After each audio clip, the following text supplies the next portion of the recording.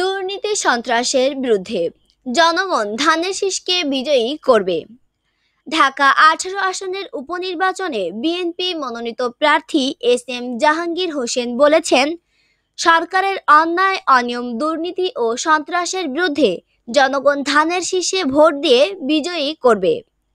রাজধানীর দক্ষিণখানে হজ ক্যাম্পের সামনে আজ শনিবার বেলা এগারোটায় গণসংযোগকালে ধানের শীষের প্রার্থী এসব কথা বলেন। এরপর তিনি আশকোনা দক্ষিণ খান এলাকার বিভিন্ন স্থানে গণসংযোগ করেন। এ সময় বিএনপি নেতাকর্মীরা পুরো এলাকা স্লোগানে স্লোগানে মুখর করে তোলেন।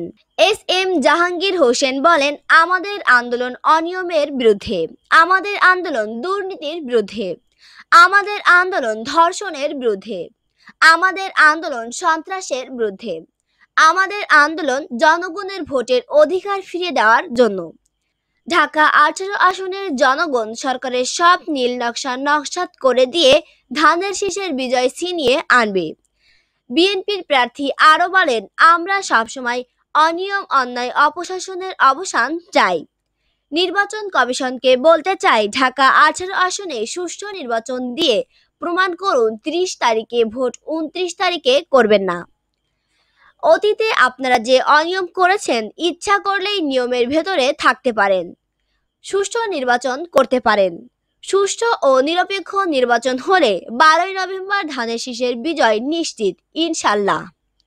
ধানের শীষের গণসংযোগে উপস্থিত ছিলেন ঢাকা দক্ষিণ সিটি কর্পোরেশনের বিএনপির সাবেক মেয়র প্রার্থী প্রকৌশলী ইশরাক হোসেন, বিএনপির সহ সাংগঠনিক সম্পাদক অনিন্দ ইসলাম অমিত, ভিপি হারুনার রশিদ হারুন, নির্বাহী কমিটির সদস্য নাজিম উদ্দিন আলম আ ক ম মোজাম্মেল হক, বিএনপি নেতা আব্দুল আলিম নকিব, মুন্সি বজলুল বাসিদ আঞ্জু, ফয়েজ মেধা ফরু, শাহাবুদ্দিন সাগর, আলী আকবর আলী প্রমুখ।